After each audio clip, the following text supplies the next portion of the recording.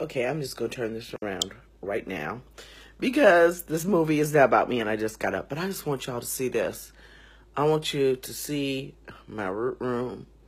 This is what my daughter did yesterday. She spent, and her and um, Tiara, Tiara was over here, one of my future uh, voodoo sisters, spent the, you know, if we could go into the drawers, but I'm not going to because that's not your business.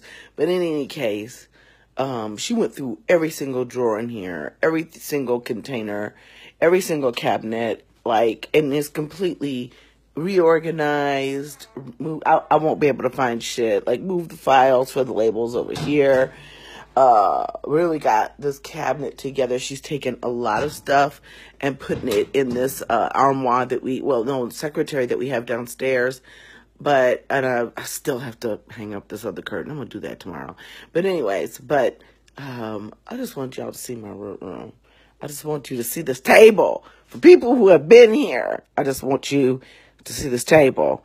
It's all clean. So I just came down this morning. I went to bed when she was finishing up in here last night. But there's so much stuff that is not in here anymore that was in here, which is really cool. Um, and uh, yeah, she's even she's even moved the cauldrons and the the cauldrons and the um, mortar and pestle and things are all in the scale and everything are just everything's just neat.